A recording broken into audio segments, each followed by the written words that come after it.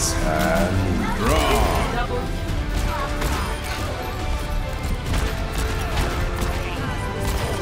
Happy Fool's got the hot